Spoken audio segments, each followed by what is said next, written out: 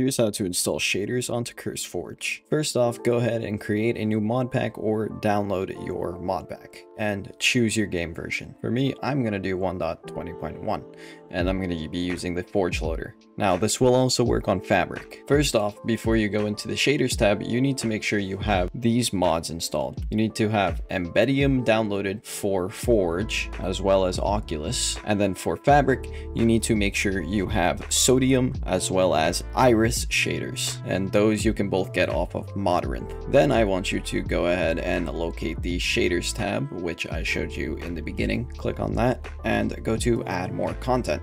And as you can see, there are multiple shader selections for you to choose from. I'm going to choose a couple of these different ones and you can just install them and they will then appear in your game's shader section. Now on an already made mod pack and not a custom mod pack, as you can see, this is my own mod pack here, Project Automate.